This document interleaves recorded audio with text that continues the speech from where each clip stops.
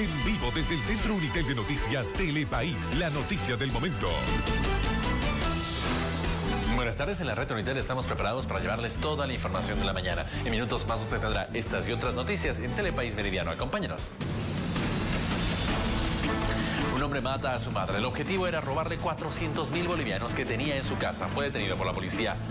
Hombre inmolado. La policía identificó al hombre que murió en una explosión. Tiene 86 años. Se investigan las causas. Inseguridad ciudadana. El trabajador de una agencia de viajes sufre robo de la venta de pasajes. Está malherido. Robo en el alto. Investigan la sustracción de más de 700 quintales de harina de mapa. Recuperan parte de lo robado. Nosocomio en malas condiciones. Denuncian falencias en el hospital del tórax. Hace años que carece de un equipo especial.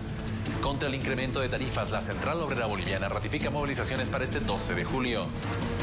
Control de menores. Ante el intento de burlar los controles, la policía hace operativos en la tranca de Urujara.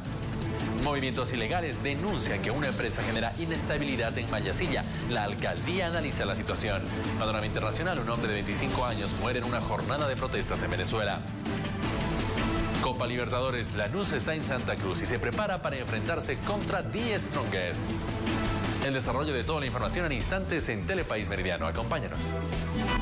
En vivo desde el Centro Unitel de Noticias Telepaís, la noticia del momento.